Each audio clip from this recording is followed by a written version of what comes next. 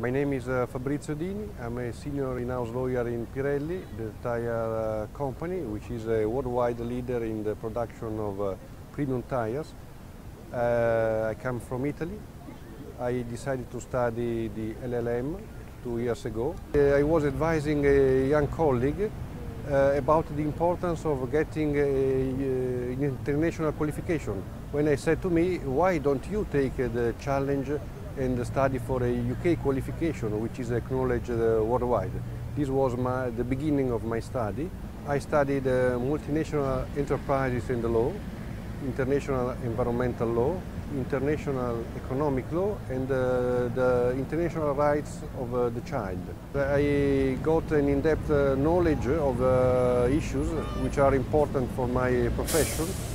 I improved my capability of uh, independent uh, thought and uh, self-analysis and uh, self-discipline. Well, I have many dreams, uh, but uh, one of the dreams is that I hope that London and the, University of London can become a second home to me and to my daughters.